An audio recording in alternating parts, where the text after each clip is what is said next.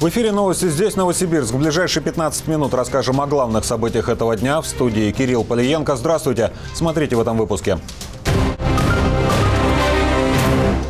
Коммунальщики хорошо отдохнули на каникулах. Многие улицы Новосибирска к первому рабочему дню Нового года так и не очистили от снега. Студента избили за неформальный внешний вид, а затем подстригли складным ножом. Полицейские еще не решили, есть ли тут повод для возбуждения уголовного дела.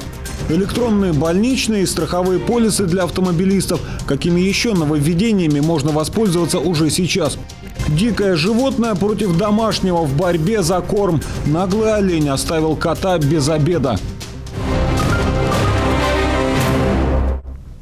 Теперь подробности. Плохая уборка городских дорог и дворов заставляет новосибирцев писать жалобы президенту Путину. А Общероссийский народный фронт запустил в социальных сетях группы, куда горожанам предлагают выкладывать фото и видео, наглядно иллюстрирующие бездействие властей. Тему продолжит Мария Черешнева. Ситуацию в городе многие новосибирцы уже окрестили снежным апокалипсисом. Во дворах буксуют машины, гигантские сугробы сползли на дороге, нависли на крышах и козырьках балконов. Вообще-то здесь достаточно широкий тротуар, но сейчас он превратился да. вот в такую узкую тропу, на разойтись на которой практически невозможно. А в такую метель, как сейчас, его задувает еще сильнее. Так как мы с вами разойдемся, разошлись. Конечно, доставляет определенные неудобства пешеходам. Вот остановка общественного транспорта. Здесь еще видно границу тротуара. До дороги. Раз, два, три, четыре шага. То есть, получается, к самой остановке троллейбус подъехать уже не сможет. Будет останавливаться прямо на дороге и тем самым сильно тормозить движение. И, честно говоря, не очень понятно, здесь все-таки почищено или натоптано. Горожане выкладывают в соцсети десятки фотографий и видеороликов. Место действия и время суток разное, суть одна – не проехать, не пройти. Октябрьский мост. Вечер 8 января. Вместо трех полос движения – две, на третий – снежный вал.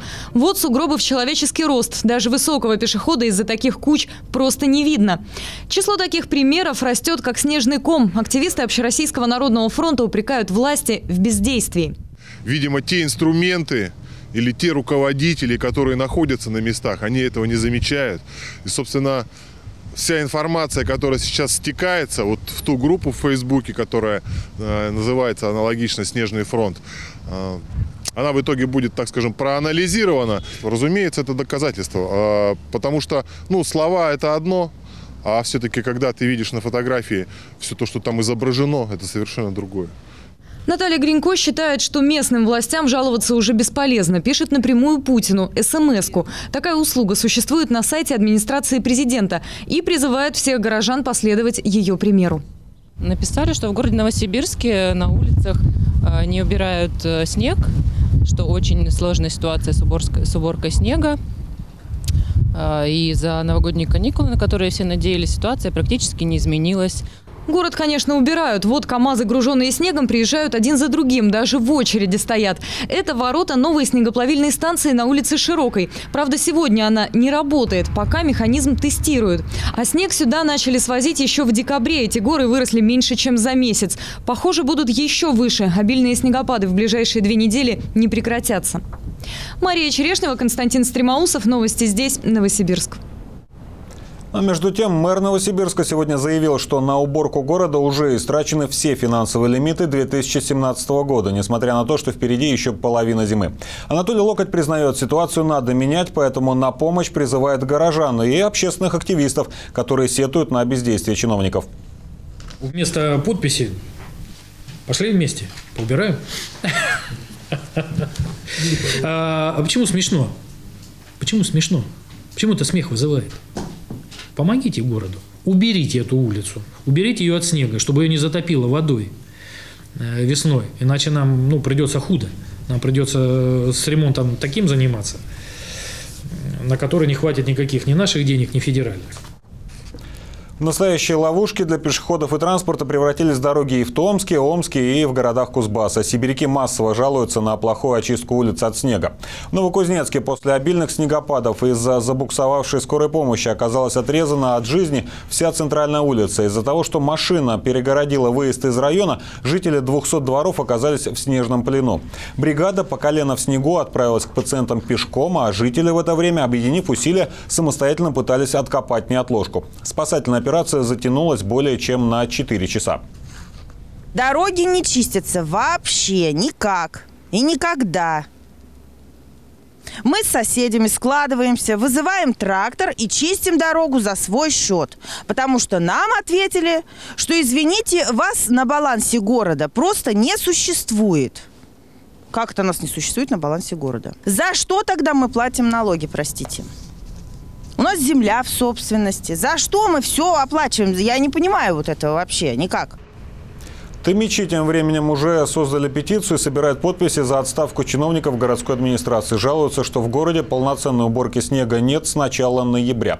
Вдоль дорог скопились высокие сугробы, мешающие водителям и пассажирам. Люди, говорится в обращении, передвигаются не по тротуарам, а по муравьиным тропам. Мэр Томска поручил полностью вывести снег с улиц к середине апреля. Только вот убирать его, со слов администрации города, просто некуда. Механизм утилизации не определен до сих пор.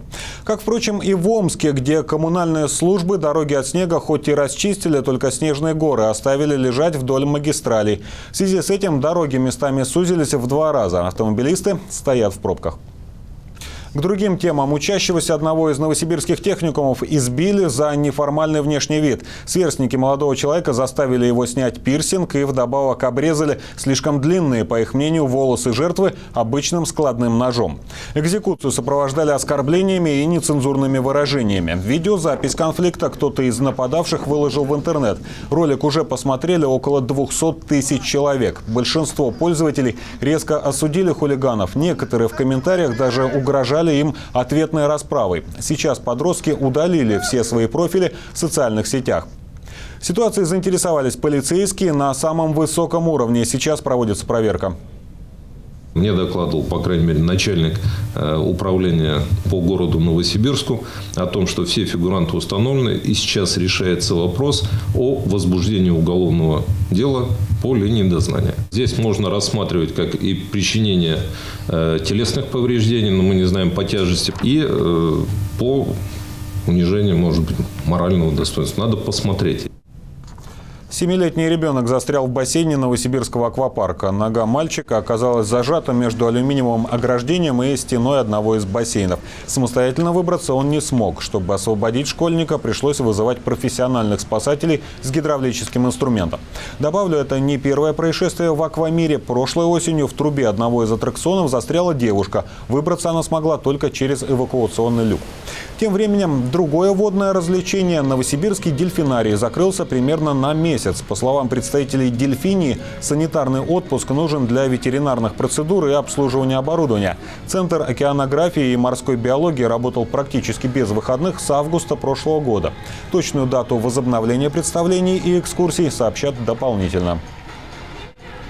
В этом году вступают в силу поправки в целый ряд законов, регламентирующих разные сферы жизни. Есть и традиционные изменения вроде роста акцизов, и серьезные новшества, которые коснутся школьников, болельщиков, автомобилистов и многих пользователей интернета. Федеральное законодательство изучил мой коллега Артем Шишнев. В ближайшее время подорожает пиво, виноградные, игристые и фруктовые вина. Это связано с увеличением акциза на эти напитки. Вырастут акцизные сборы и на табак. По этой же причине подорожают бензин и дизельное топливо. Любопытно, что на водку и другое крепкое спиртное акцизы оставлены без изменений. Иностранные компании, торгующие в России через интернет электронными книгами, музыкой, компьютерными играми и программами, теперь обязаны платить НДС. В связи с этим Google увеличил стоимость своих сервисов Google Диск и Google Play на 18%. Мы фактически будем лишены возможности привезти из-за рубежа поддержанную иномарку. Закон теперь требует обязательной установки на все автомобили, появляющиеся на отечественном рынке, системы Aeroglonasс.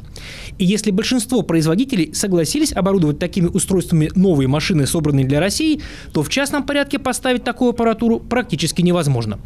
Зато купить полис ОСАГО теперь станет проще. Все страховщики обязаны обеспечить возможность оформлять документы в онлайн-режиме. Однако, если автовладелец укажет неверные данные, которые уменьшили сумму страховки, то компания имеет право взыскать с клиента всю сумму, выплаченную пострадавшему. Станут электронными и больничные листы. Предполагают, что это не только сократит количество бумажных документов и расходы на производство бланков, но и позволит избавиться от мошенничества и подделок. А пациенты станут меньше стоять в очередях за счет того, что электронную версию будут заполнять при помощи автоматизированной информационной системы. Билеты на футбольные матчи теперь начинают продавать только по паспортам. По неофициальным данным, есть и черный список болельщиков, которых запрещено пускать на стадионы. В этом году серьезно меняется единый госэкзамен. Тестовые задачи исчезают полностью. Часть заданий нужно будет выполнить устно, часть письменно. Будет введена новая система оценки знаний, которая будет суммарной. А на конечный балл в аттестате повлияют две оценки – за учебный год и за сданный экзамен. Эта отметка и станет основной для поступления в ВУЗ. Артем Шершнев, новости здесь, Новосибирск. Новая велоточка появилась на карте Новосибирска. Единственный в городе крытый парк для катания на горном велосипеде, скейтборде, роликах и трюковых самокатах начал работать в тестовом режиме. Для любителей экстремального спорта это долгожданное событие. До сих пор зимой тренироваться им было негде. На новой спортивной площадке побывала Лидия Захарова.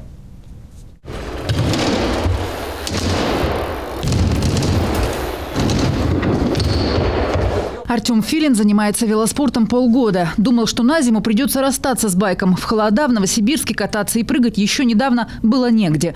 Для спортсменов такой большой перерыв в тренировках губителен. Многие навыки забываются. Я летом болел, не катался примерно неделю. Я как бы начал потом кататься и примерно дня два я вспоминал, то есть то, чего, что я уже умел стабильно. Теряешь бдительность и то есть сделал что-то не так. А когда занимаешься этим, ну как бы по сути повседневно, у тебя уже все это рефлекторно идет. Теперь место для ежедневных тренировок в городе есть. В этом ангаре рядом с заводом имени Чкалова смонтировали рампы, рейлы и памп-трек. По словам организаторов, это единственная подобная трасса за Уралом. У него очень хороший накат, хорошее покрытие. И спортсмен э, учится группироваться вокруг э, своего снаряда. Пока скейт-парк работает в тестовом режиме, но в выходные здесь уже довольно многолюдно. Роллеры, скейтеры, велосипедисты – площадка не только для профессионалов, но и для начинающих. Это место, где человек может э, повысить свои навыки. То есть кататься на велосипеде это тоже не, так скажем, не просто, да. То есть это и небезопасно иногда бывает, и на улице, да, и на дорогах там и так далее. Здесь э, человек э, приобретает тот опыт, который ему просто-напросто необходим. Инструкторы здесь готовы заниматься даже самыми маленькими. В секцию беговела записывают, начиная с двух лет. Правда, за это придется заплатить. Официальное открытие велоточки запланировано на ближайшее время. К этому будут приурочены большие соревнования. Сейчас идут последние приготовления. Организаторы надеются, что в них примут участие не только новосибирцы, но и спортсмены из соседних городов. Лидия Захарова, Алексей Андробаев. Новости здесь, Новосибирск. Дед Мороз и Снегурочка пролетели на параплане над горнолыжным курортом Шерегеш. За несколько минут они спустились с горы Зеленой с высоты почти 700 метров, попутно поздравляя всех отдыхающих с Новым годом и Рождеством. Под костюмами сказочных персонажей скрывались известный новосибирский парапланерист Александр Орлов и девушка-модель из Красноярска. Традиционное облачение дополнил необходимый атрибут для посетителей Кузбасского курорта – горные лыжи. Ну а еще один традиционный символ новогодних праздников обидел домашнего кота. В селе Катково Коченевского района удалось снять на видео необычное происшествие. Молодой олень проник в дом через незапертую дверь и пообедал из кош... кошачьей миски. Совершенно беспардонно рогатый оттеснил законного владельца еды. Кот при этом повел себя достаточно спокойно, понимая, что силы не равны, он уступил свой корм без сопротивления. Впрочем, оленю угощение не понравилось. Едва попробовав содержимое миски, Бэмби отправился на поиски более вкусной пищи. Ну и завершение выпуска о погоде на завтра в городах Сибири. В Томске, где власти обещают убрать весь снег с улиц к 15 апреля, облачно с прояснениями без осадков минус 24 градуса. В Кузбассе, где над горнолыжными трассами пролетели Дед Мороз и Снегурочка, пасмурно, временами снег минус 18. В Омске, где хоккеисты «Авангарда» выставили свою форму на благотворительный аукцион и заработали почти 300 тысяч рублей. Облачно с прояснениями, без осадков и 20 градусов мороза. В Новосибирске, где появилась крытая площадка для экстремалов, облачно, преимущественно без осадков, днем минус 19 градусов. Это все новости на сегодня. Материалы выпуска и другое интересное видео на наших страницах, социальных сетях и YouTube. О ваших новостях сообщайте по телефону редакции или пишите на нашу электронную почту. До свидания.